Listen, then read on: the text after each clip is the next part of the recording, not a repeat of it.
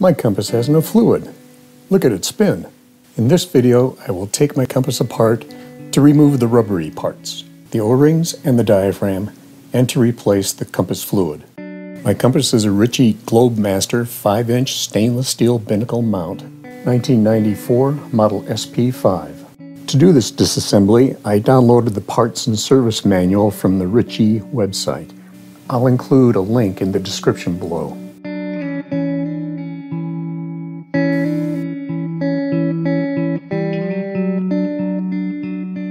The compass has four components, the light assembly, the binnacle, the capsule, and the mounting base.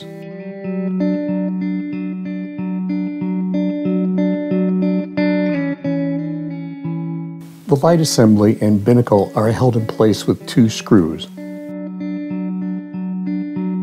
We'll start the disassembly there.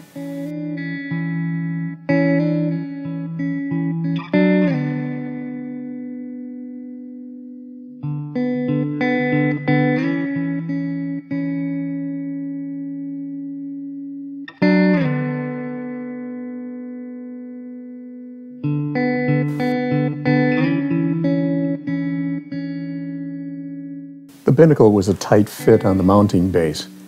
It took a little work to get it off. If your compass is still on your boat, the wires for the lighting assembly will still be attached.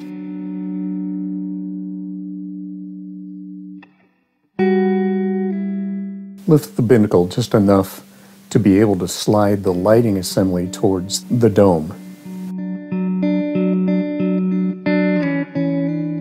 After the binnacle is off, the light wire can be disconnected and the light assembly removed.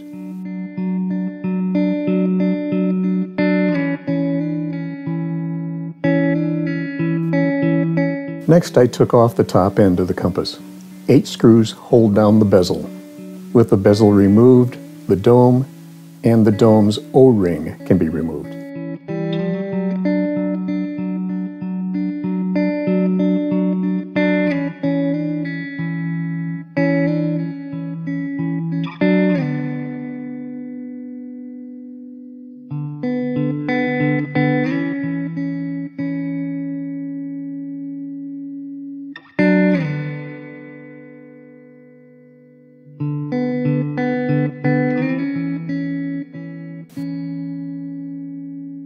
The bezel came off easily.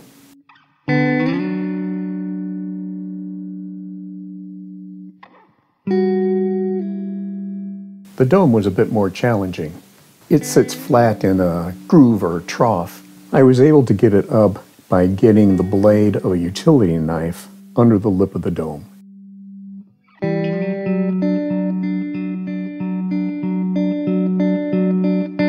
The O-ring came off with the dome.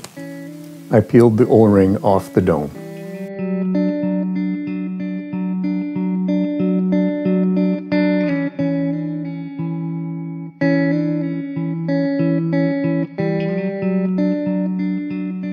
Next to come out was the gimbal assembly. The gimbal ring hangs on two brass bosses led into the bowl. The pins of the gimbal ring slip into the brass bosses.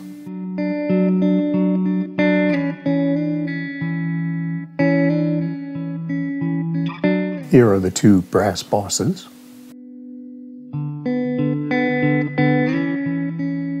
I used a small screwdriver to lever the bosses out of their seats. Taking out the gimbal, I was careful not to damage the balance tab attached to the bottom of the gimbal ring assembly. The last to be removed is the diaphragm retainer and the diaphragm. Both are held in place by screws let into the diaphragm retainer. I use the holes in the retainer to grab it and lift it out.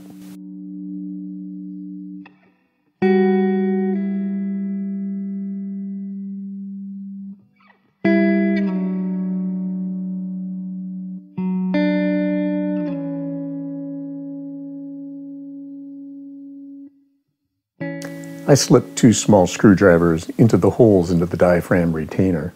Knitting needles with hooks at the end would work great for this. I'm being careful here because the diaphragm came with the diaphragm retainer. The diaphragm had a small amount of fluid with it. As I took the compass apart, I kept an eye out for the pieces that had to be oriented correctly when it went back together.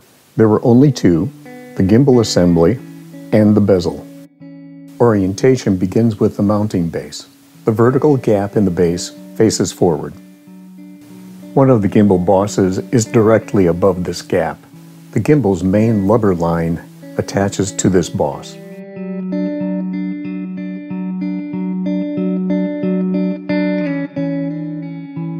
The bezel has a series of holes that face forward. My bezel also had an indent for the light wire that faced forward.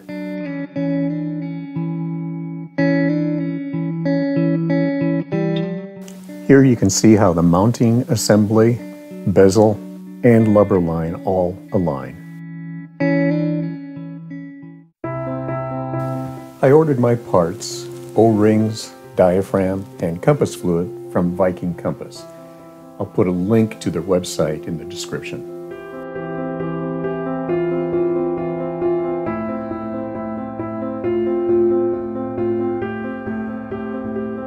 Reassembly was pretty much the reverse of disassembly. I decided to oil the rubber parts as I installed them. I do this with my oil filters, and I figured it wouldn't hurt here.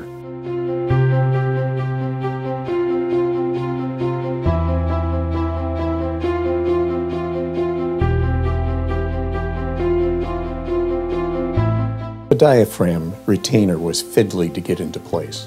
I moved it several times to get the first screw lined up.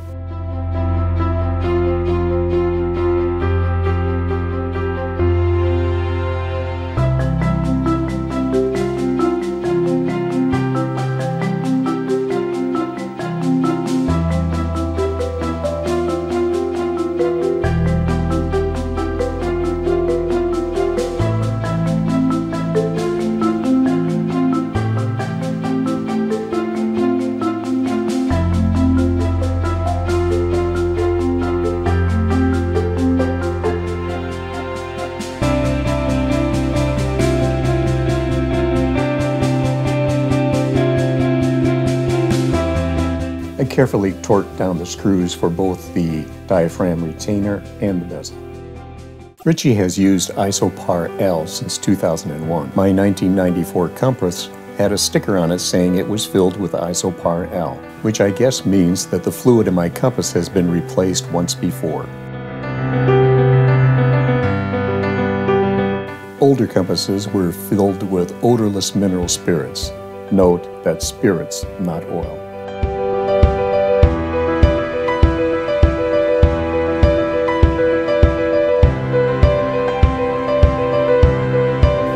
With the first syringe plunge, I realized I could have filled the bowl to its brim before clamping down the dome. That would have saved me many more syringe plunges.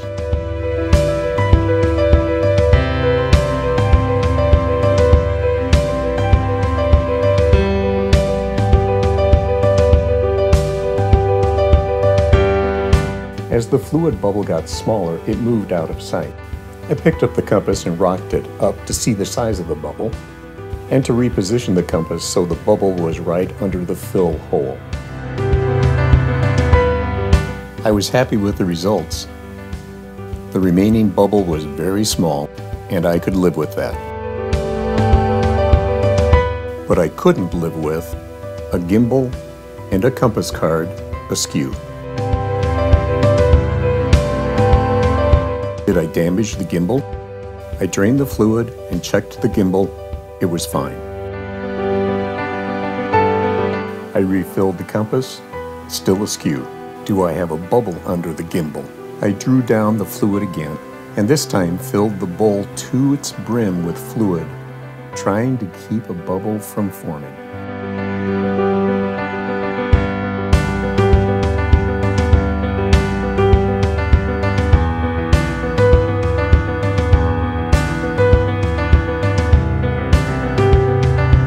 That didn't work either. The final solution was to turn the compass upside down so that the gimbal jammed and no longer gimbaled, and then the bubble could escape from under the gimbal's ring. I'm pretty sure the gimbal jammed when I started with one of the gimbal bosses straight up. Ritchie degasses their fluid under a vacuum. I found a good forum site discussing how to do it DIY. I'll put the link below. The forum suggested putting the compass in the freezer overnight, so that's what I did.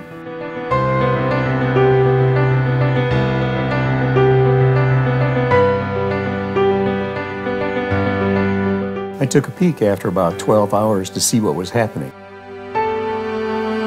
Yep, it's cold.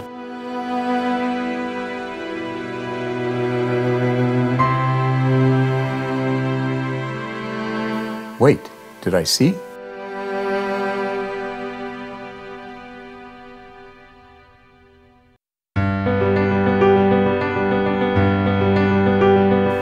There.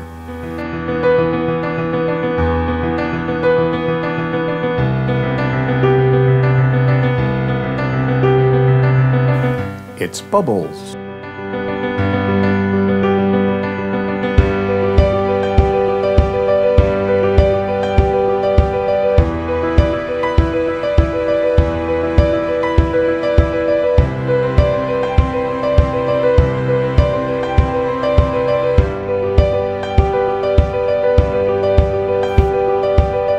After 24 hours, I pulled the compass out.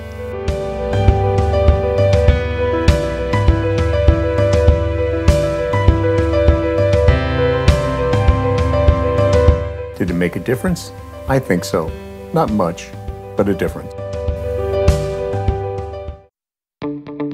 I opened up the compass and topped her off.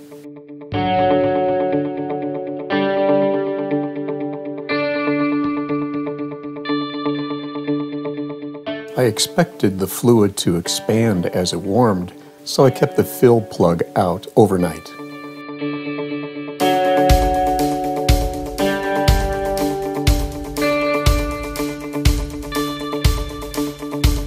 The next morning, I had a big bubble, and I didn't know if it was from evaporation or if I had a leak.